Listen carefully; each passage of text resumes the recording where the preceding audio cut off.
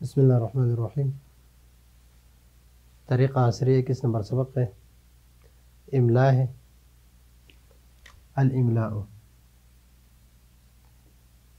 और इस सबक में हम इमला के बारे में पढ़ेंगे कि इमला को हम किस तरह यानी उसके बारे में क्या करना है तो मलहूज़ा में जो नीचे इस सबक में मलहूज़ा है आल उस्ताद करीम उस्ताद मोहतरम पर लाजिम है अयुम लिया हाजत दर्स कि इस दर्स को इमला करें। हाजत दर्स इस दर्स के इमला कर लें आलत तलबा तलबा कराम पर। सुम युराज कुर्रासात ही फिर उसके, उसकी जो कि कापियाँ हैं, उसको चेक करें, उसको देख लें। वो युसहल अख्ता और उसकी जो ख़ता है, जिसमें, उसमें जो ख़ताएँ हैं उसको सही कर लें सुम युवज़ युवज़ सुम युवज़ लहुम अयुमलिया अयुराजा अयुसह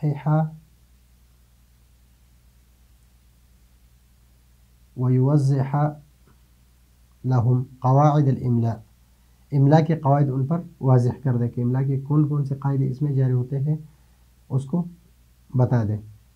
वयामरहम, और फिर उसको हुक्म दे बेआदतिल किताबत सही दोबारा लिखने के सही सही, यानी उसको दोबारा सही तरीके से लिखने की दोबारा उनको हुक्म कर दे। वहाँ कज़ा और इसी तरह फिर दुरूसिल इमला आतिया। इमला के आगे जो दुरुस आ रहे उसका भी यही तरीक़ा है कि पहले उस्ताद मोहतरम जो है वो बच्चों से कहे कि आ, मैं आपको कुछ इसबाब जो है या सबक एक लकीर या दो लकीर वो आपको पढ़ के सुनाता हूँ और आप उसको लिख के जब वो लिख ले तो उस्ताद मोहतरम को चाहिए कि उसकी कापियाँ चिक करें फिर उसमें जो गलतियाँ है उसको सही कर दे और इमला के कवायद उस पर वाजह कर दे और फिर उसको अगर गलत लिखा हो तो सही करने की कोशिश कराई जाए। और ये तरीक़ा जो है, ये इमला के आगे जो इसबाकार है, सब में यही तरीक़ा है। ये मुफरदात हैं यहाँ से लेकर यहाँ तक। इसका माना है ये। इसका माना है वो। वो। ये। वो। लेकिन ये जो है ये ये मुअन्नस के लिए और ये भी मुअन्नस के लिए। और ये मुजक्कर के लिए। ये भी मुजक्कर के लिए। कलम कलम। शुबाक शुबाक कलम। खिड़की। आमूद स्टोन सकफुन छत सतहन हमवार जगह और हारिस हारिस कहते हैं चौकीदार को।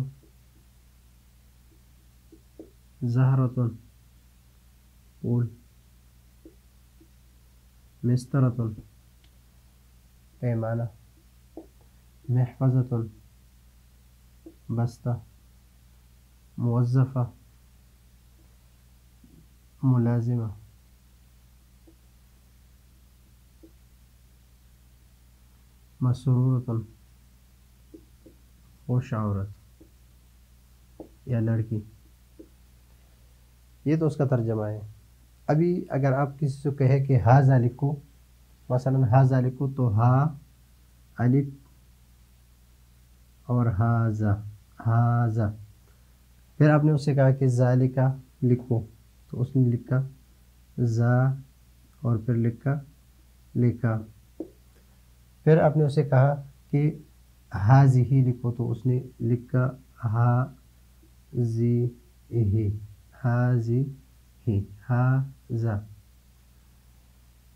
फिर आपने उसे कहा कि कलम लिखो तो कलम फिर शुभाग कहा आपने शुभ बाग लिख दिया फिर आमूदन अपने उसे कहा कि आमूदन लिख दिया फिर सक़फ़ुन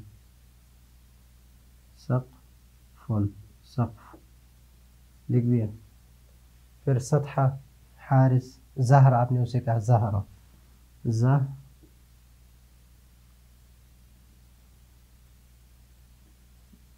जहरा मिस्तर आपने उसे कहा कि मिस्तर लिखो मिस्तरा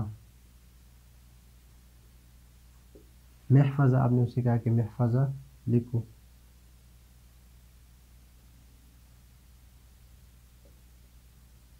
फिर मुवज़फ़ आपने उसे कहा कि मुवज़फ़ को।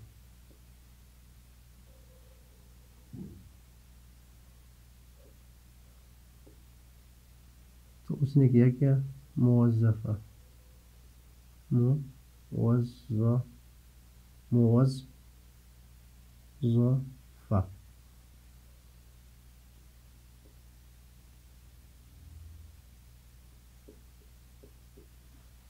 मसरूरा लिखो तो उसने लिखा मसरूरा इस तरह अब यहाँ पर ये मुफरदात है तो मुफरदात में हाजा लिखना था तो हाजा हम पढ़ते इस तरह है इसी तरह पढ़ते हैं लेकिन लिखते हम किस तरह है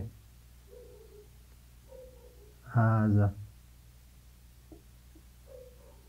लिखेंगे हम इसको इसी तरह, इस पर का ज़बर और ये अलिफ जो इसमें नहीं लिखेंगे। ये गलत है। फिर जालिका है तो जाले जालिका पर, यहाँ पर हमने अलिफ लिख दिया तो इसको भी नहीं लिखेंगे। जा लेका। ये दूसरी गलती। फिर ये हाजी हा जी इसको हम इस तरह नहीं लिखेंगे, बल्कि किस तरह लिखेंगे? हा? जी गलत नहीं लिखेंगे। इसी तरह लिखेंगे तो ये तीनों गलत गलत है। अगर कोई हमसे कहे कि हाजा लिखो तो हम हाजा इस तरह लिखेंगे। लिखेंगे इस तरह, पढ़ेंगे इस तरह। जा लिखा लिखेंगे इसी तरह और पढ़ेंगे इसी तरह। इसी तरह हाजी तो हाजी लिखेंगे इसी तरह और पढ़ेंगे इसी तरह। कलम कलम। इसी तरह से ये शुबाक तो अभी शुबाक को हम शुभ शुभ बाक तो इसको हम इसी तरह नहीं लिखेंगे, दोनों बा अलग अलग लिखेंगे, बल्कि इसको लिखेंगे हम शीन, बा शुभ इस पर शद लिखेंगे। शुभ बाक ये इसकी गलती है। आमूद को हमने सही लिखा है सक़फ़ हम सही लिखा है, जहरा। जहरा जब हम बोलते हैं तो जहरा बोलते हैं। लेकिन जब हम लिखते हैं तो हम लिखेंगे क्या? जह अब इस तरह लिखेंगे। अगर कि हम इसको पढ़ेंगे जहरा। जहरा। इस पर सुकून पढ़ेंगे। जहरा वक़फ़ करेंगे तो इसको जहरा पढ़ेंगे। लेकिन लिखेंगे जहरा नहीं, लिखेंगे इसी तरह जहरा तुन जहरा और गोलता लिखेंगे। इस तरह मिस तरह मिस तरह तो मिस तरह को हम लिखेंगे मिस तरह इस तरह। इस तरह महफज आखिर में गोलता लिखेंगे मुवज़फ़ा मुवज़फ़ा को हम किस तरह लिखेंगे? इसको हम लिखेंगे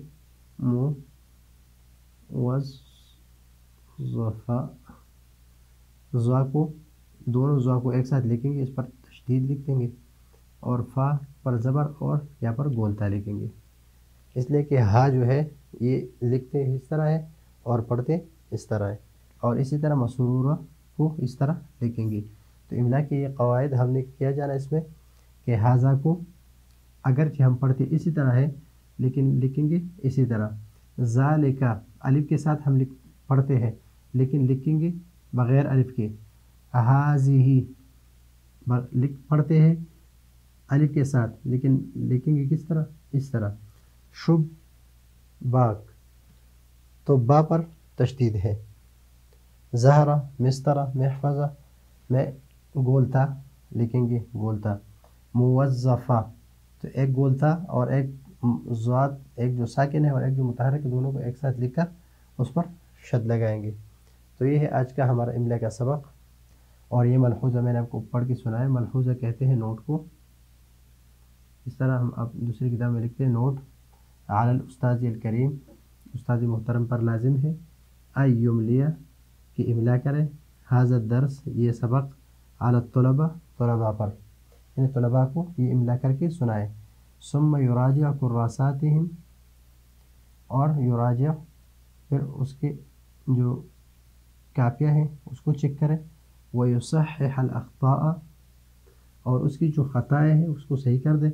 वही वज़लकवादमला और इमला की जो कवायद है हम इन तलबा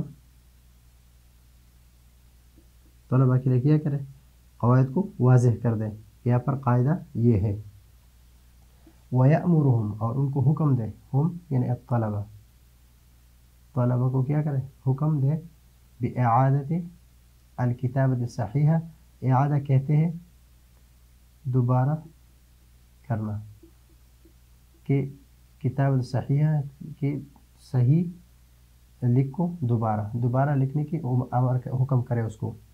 वहाँ कज़ा हाकज़ा का मतलब ये है, और इसी तरह।